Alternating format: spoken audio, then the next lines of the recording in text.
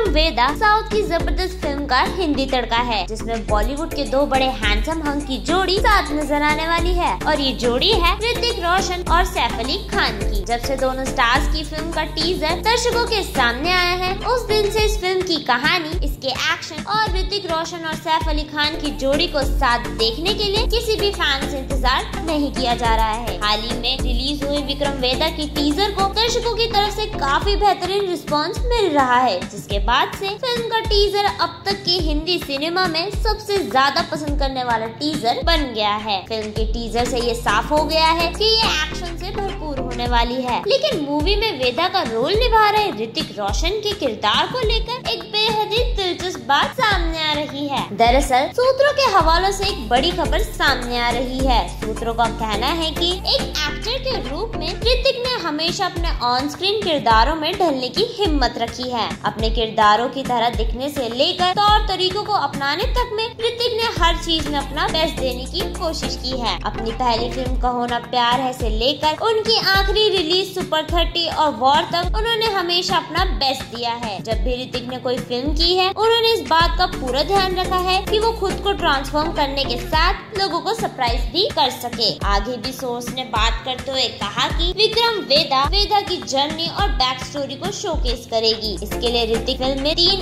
अलग अलग लुक में दिखाई देंगे। ट्रेलर विक्रम वेदा की दुनिया की और भी झलक देगा, जहाँ दर्शक वेदा की पूरी कहानी देख सकते हैं। यानी ऋतिक रोशन इस फ़िल्म में तीन नए लुक में नज़र आने वाले हैं। तो ये खबर फैंस के लिए किसी ट्रीट से कम नहीं होने वाली है। लेकिन साथ ही साथ ये मूवी ऋतिक के लिए भी काफ़ी स्पेशल होगी, क्योंकि ये फ़िल्म ऋतिक की लाइफ में पच्चीसवी फ़िल्म होने जा रही है, जिसके लिए ऋतिक की भी इस मूवी से काफ़ी उम्मीदें जुड़ी होगी। विक्रम वेदा में ऋतिक ही नहीं, सिर्फ़ सैफ अली खान के लुक को लेकर भी ज़बरदस्त रिस्पॉन्स मिल रहे हैं। आपको बता दें, ये मूवी पुष्कर गायत्री द्वारा निर्देशित की गई है, जिन्होंने इसके ओरिजिनल वर्जन को भी डायरेक्ट किया था। अब आप इस मूवी को लेकर कितना एक्साइटेड है, हमें कमेंट बॉक्स में बताना ना भूले।